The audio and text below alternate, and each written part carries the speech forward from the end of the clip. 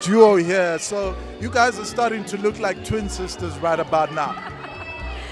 Well, we're very, very close. We grew up together. We've known each other since 15 years now.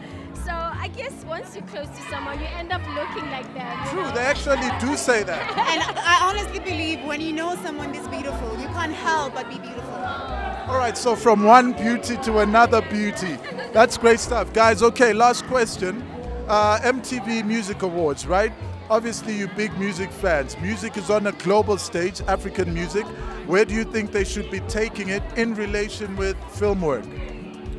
Um, I would say this has never been like a more exciting time for musicians across the continent. Uh, I'm loving the collaborations, and I think it's been happening longer than we, we, you know, we can even uh, think of. Boom Shaka did it. You know, they crossed borders Serious? way, way before when he was still in high school.